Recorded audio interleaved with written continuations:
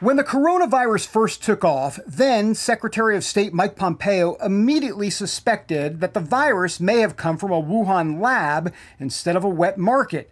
The medical community, Democrats, and the media wrote him off as a kook. They didn't accept what we said, the data set that we laid out before them, because they played politics. They had, a, they had a theory of the case that was based on this was Mike Pompeo saying this. And he works in the Trump administration, and therefore there's some other angle here. They're trying to, you know, it's a shiny object theory or whatever it is. Now that it appears his suspicions have merit, and that controversial gain of function research supported by the U.S. may have also played a part, Pompeo tells us how bureaucrats kept putting up roadblocks as he tried to get to the truth. Inside the State Department, there was lots of debate about the efforts we had underway, but I was just uh, uh, vicious hmm. about demanding that the team do everything they can to sort fact from fiction.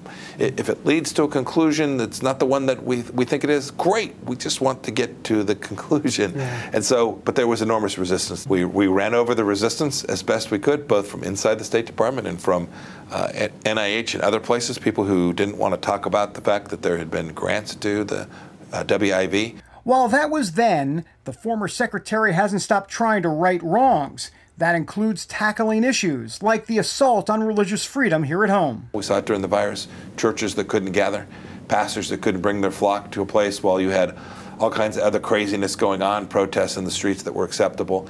That is a, a real black mark on religious freedom in America. It's deeply inconsistent with our constitutional right mm-hmm. uh, to for the free exercise of religion, but more importantly, it strikes at the very moral foundation of our country. Pompeo says a spiritual battle is striking the moral foundation as well. There's a lot of folks that believe we are in a state right now in America of spiritual warfare, if you will.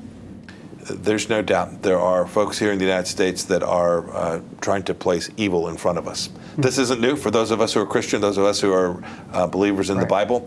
Uh, we know that evil always exists. Uh, we also know that we're all sinners.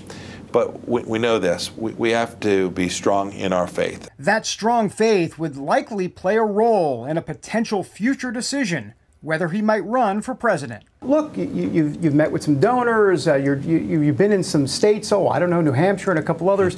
You know, hello, you know, I didn't fall off the turnip truck yesterday, uh, so I cover this stuff for a living. Uh, how serious are you about potentially running in 2024? So it's a, a fair question. Uh, mm-hmm. I must say, Susan and I pray every day about how sure. to execute the mission we've been given um, by the Lord. We're going to stay in this fight. I've been at this for decades. Mm-hmm. Today, 2022 is the marker. Whoever the president is in 2024 needs to have a Senate and a House so that they can actually make the changes that America needs. So it's safe to say that you're surveying the terrain and you'll see what happens after 2022. Is that, is that a fair? Is that fake news or not fake it, news? It, it, it is fair to say we're going to stay in the fight. We'll see what role what role the, the Lord brings to us. David Brody, CBN News.